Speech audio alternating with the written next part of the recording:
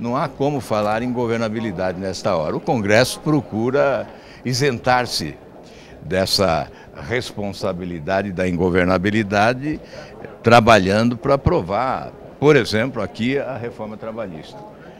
Mas é um péssimo momento para aprovar reformas, porque boas ideias sucumbem diante da complexidade desse momento, do nervosismo desse momento, da falta de boa comunicação. O governo comunica muito mal, perdeu autoridade para se comunicar com a população e, obviamente, isso enterra boas medidas que poderiam ser adotadas nesse momento.